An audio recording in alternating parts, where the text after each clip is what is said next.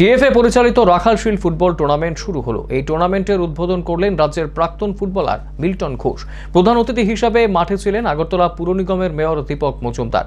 উদ্বোধনী ম্যাচে লালবাহাদুর ক্লাব পাঁচ তিন গোলের ব্যবধানে হারিয়ে দিল জুয়েলস অ্যাসোসিয়েশনকে। শুরু হলো দু হাজার সালের এমএল প্লাজা রাখাল মেমোরিয়াল স্মৃতি নকআউট ফুটবল প্রতিযোগিতা। উমাকান্ত ময়দানের সিনথেটিক ফুটবল মাঠে বলে কিক দিয়ে সূচনা করলেন রাজ্যের প্রাক্তন ফুটবলার মিল্টন ঘোষ। এবছর প্রতিযোগিতায় মোট ছটি ক্লাব অংশগ্রহণ করে। উদ্বোধনী ম্যাচে মুখোমুখি হয় জুয়েলস অ্যাসোসিয়েশন ও লাল বাহাদুর ম্যাচে পাঁচ তিন গোলের ব্যবধানে জয়লাভ করে লাল বাহাদুর। ম্যাচটি বেশ জমজমাট হলো।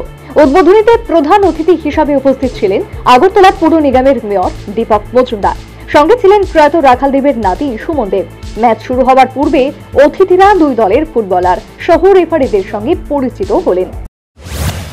ছিল না। এখন প্রশিক্ষকের প্রশিক্ষণের ব্যবস্থা করা হচ্ছে, মাঠ তৈরি করা হচ্ছে, স্টেডিয়াম তৈরি করা হচ্ছে, পাশাপাশি বলব যে সমস্ত ক্ষেত্রে বিচার বিবেচনা, সমস্ত দিক দিয়ে কিন্তু একটা স্বচ্ছতা এসছে টিএফ এর মধ্যে এবং যারা পরিচালনা করছেন তারা এবং রাজ্য সরকার। রাজ্য সরকার এবং টিএফ যৌথভাবে ফুটবলের মান উন্নয়নে এবং ফুটবল প্লেয়ারদের তৈরি করার চেষ্টা করা হচ্ছে। আজকে এখানে দেখলাম মিল্টন ঘোষ প্রাক্তন প্লেয়ারও এখানে আমাদের সঙ্গে আছেন। খুব ভালো লেগেছে। ফুটবলটা আবার জনপ্রিয় হয়ে যাচ্ছে তাদের পরিচালনার জন্য। বল দখলের লড়াইয়ে জুয়েলস বনাম লাল বাহাদুরের ম্যাচের শুরু থেকেই জমে ওঠে রোমাঞ্চ। প্রথমার্ধে দুই দুই গোলে জমে ওঠে ম্যাচ।